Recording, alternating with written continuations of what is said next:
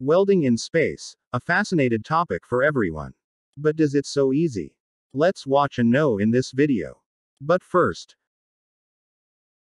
please don't forget to subscribe to my YouTube channel for more interesting videos. If you like the video, hit the like button and share it. Thank you.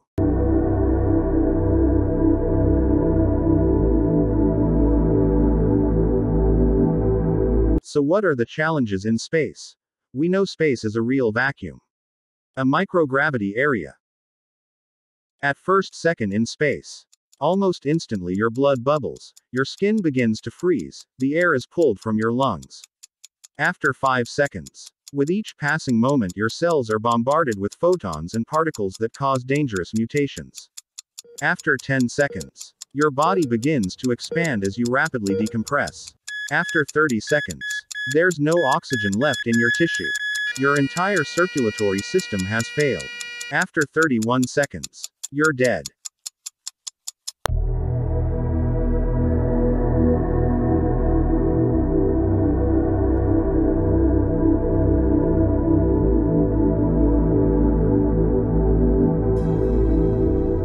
The first spark in space is made by Russians, not the Americans. The only real tests of in-space welding techniques using conventional approaches occurred during the Soviet tests. On Soyuz 6 flight in 1969, Kubasov used a cylinder inside the unpressurized orbital craft, called the Vulcan facility, which he was able to control remotely to shield the crew from the possible unknown dangers of welding in space. He tried out three different welding methods via an electron gun. First was an electron beam welding. This process sends electrons at a very high velocity to the specific areas of the contact surfaces of the metals for joining. Second was low pressure plasma arc welding. The plasma arc process is constricted. It requires a water cooled spray nozzle to restrict the arc to get the properties necessary for welding. And, third was consumable electrode welding. This is another form of arc welding that uses a consumable electrode. The device was equipped with a low-pressure arc welder using a consumable electrode, a low-pressure arc, and hollow cathode, and an electron beam welder. However, the Russian crew overestimated their skills and underestimated the risks.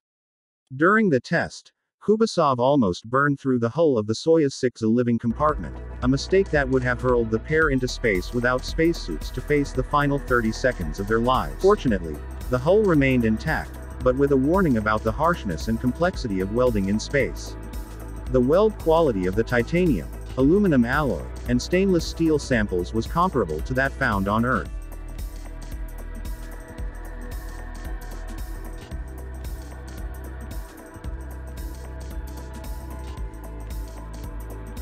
So where is NASA in all this?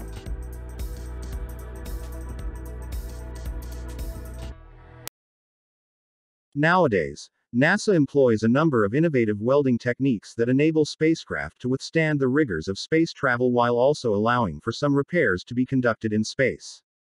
They are First is friction stir welding. Friction stir welding is a technique that uses frictional heating with forging pressure to produce high strength bonds essentially free of defects.